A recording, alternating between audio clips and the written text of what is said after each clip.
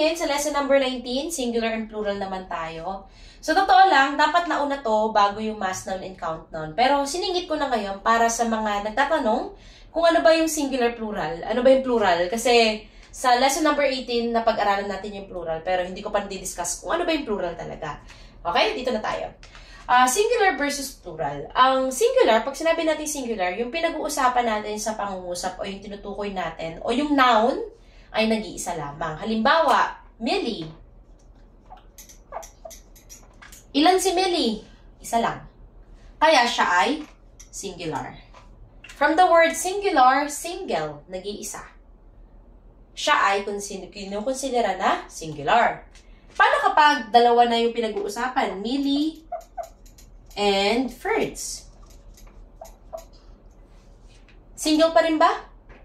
Hindi na. Kasi hindi na siya, higit na siya sa isa. Kaya ito ay plural na. Okay? So, yan yung singular and plural. Ano pa mga examples natin? Uh,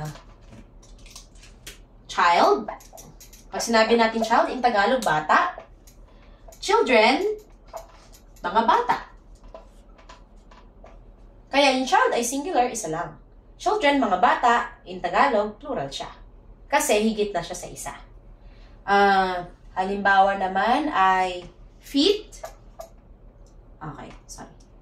Halimbawa naman foot, isang paa, feet, mga paa. So, meron tayong plural nito at ito ay singular. Okay? Naiintindihan ba natin? Yan ang singular at plural ha, sa pag-aalam natin kung anong klase ito. Uh, ito bang salita na to ay pang maramihan o pang isahan? Limbawa naman ito, uh, beef. Ayan, beef. Uh, halimbawa, three pieces. Or gawin natin cuts of beef. Singular or plural siya? Eh sabi natin dito ay three. Tatlo, hindi siya nag-iisa. So, ibig sabihin, ito ay plural. Okay, nagigets nyo? Eh, paano po kapag ganito po? Uh, one slice of cake. Singular or plural? Singular siya sapagkat isa lang naman ang tinutukoy natin. So, yan yung singular at plural. Okay?